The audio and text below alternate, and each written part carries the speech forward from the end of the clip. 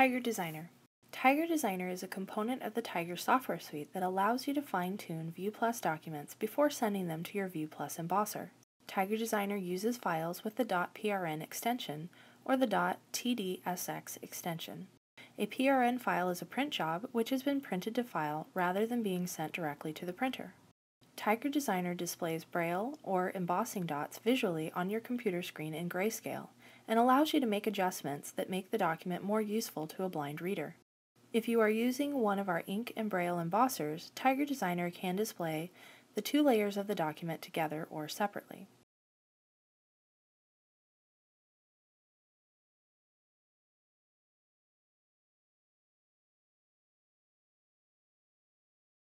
This tutorial will be a basic overview of Tiger Designer's functions. To begin, open Tiger Designer by tapping your Windows key and typing Tiger Designer and pressing Enter.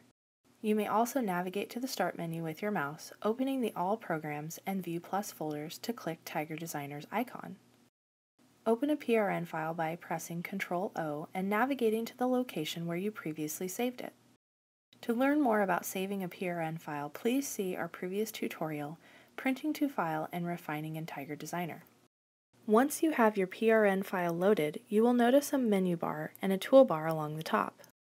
If your PRN file was written using one of our ViewPlus ink and braille embossers, your document will have two layers, one for ink and one for embossing, and you may switch between them by clicking the arrow tools on the toolbar or by using page up and page down on the keyboard. You may also press F2 to toggle the combined view, in which the ink and braille layers are combined. These same tools can also be used to navigate through multi-page documents. Notice that your toolbar changes as you move between the ink and braille layers of the document. There is one set of tools for editing the ink layer and another set for the braille layer. Some tools are common to both layers. To the right of the arrow tools are tools for magnification. You may also press Ctrl I and Ctrl U to zoom in and out for more precise control.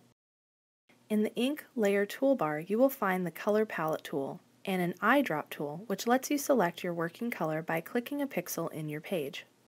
There is a tool that looks like an X, which sets your color to none, effectively disabling drawing.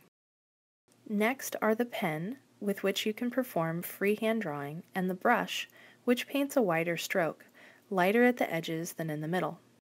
After the brush is the line tool, which you will use to stretch a straight line from one point to another. The next is two rectangle tools, one empty and one filled. There are also two oval tools, again one for the outline only and one a filled oval. There is a paint bucket which flood fills an area with the current color that is selected. The last tool is a selection tool which you can use to select a rectangular area and copy it to another location or perform other transformations. Now, if you change to the embossing layer of your project, your embossing toolbar starts with eight squares, ranging from white to black with shades of gray in between. Our embosser will emboss black more deeply, and of course white will not emboss at all. The blue square represents the height of a braille dot, which is variable depending on the settings in your printer driver, your selected media, and your formatter settings. We do not recommend using the blue square for drawing tools. After these dot height tools is the X, and like the X in the ink toolbar, this disables drawing. Then you have the pencil and the brush, the line tool, the two rectangles, and the two ovals, and the paint bucket fill tool, which all function in a similar way to the corresponding ink tools. Next is a pattern fill tool. The pattern fill tool flood fills an area with one of several predefined patterns. You may select your pattern and even edit a pattern from the tool menu. Here you can select the pattern that will be used in your pattern fill tool, and you can even edit the pattern that is available in each of the selectable patterns. You can define new patterns, give them names, and you are not limited to a 4x4 grid.